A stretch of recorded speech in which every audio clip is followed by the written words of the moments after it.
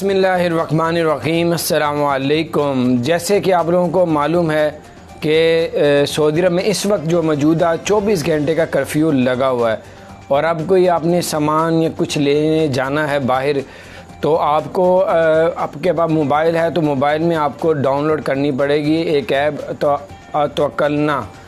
توکلنا آپ app down load کریں گے تو اس میں پھر اجازت ملتی ہے کہ آپ لوگ باہر نکل سکتے ہیں۔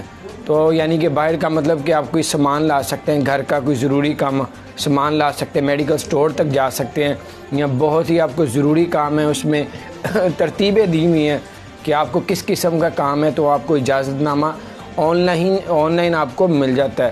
تو اس ایپ کو کر لے تو تاکہ آپ کو یہ، تو کلنا آپ ایپ کریں گے تو آپ کو اس میں اجازت نامہ ملے گا اور پھر آپ باہر نکل سکیں گے۔ اگر اس کے اجازت نامے کے بغیر اگر آپ باہر نکلیں گے تو پانچ ہزار ریال کا جو ہے وہاں پہ جرمانہ رکھا ہوا ہے۔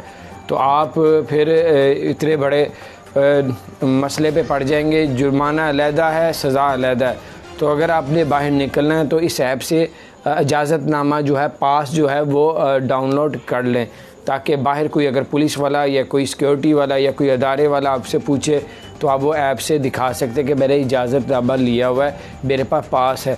تو بہرحال یہ کچھ اپڈیٹس تھی، میرے کا آپ تک شیئر کروں۔ اپنا خیال رکھے اللہ تعالیٰ آپ سب کی اور ہم سب کی ہمیشہ حفاظت فرمائے۔ اور اگر آپ نے ہمارے چینل کو سبسکرائب نہیں کیا تو ضرور سبسکرائب کر دیں۔ بیل آئیکن کو بھی پریس کر دیں تاکہ نئی سری اپڈیٹس آپ تک پہنچتی رہے۔ السلام علیکم و رحمۃ اللہ۔